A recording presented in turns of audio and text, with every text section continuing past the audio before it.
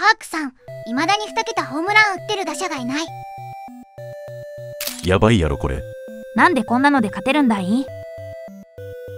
辛い三有能やん30本どころか20本すら怪しくて草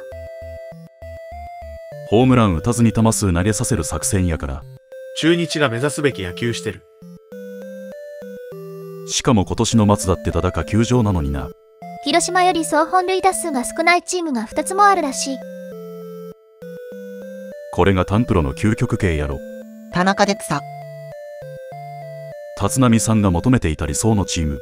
マジでなんでこれで勝てるのか気になる。そういう勝ち方ね。首位阪神の方がホームラン少ないけど大山が11本打ってるからなんで勝ってるのかわかるな。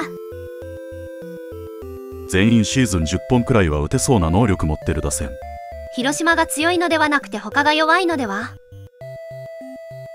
ロッテも広島もピッチャーがええな。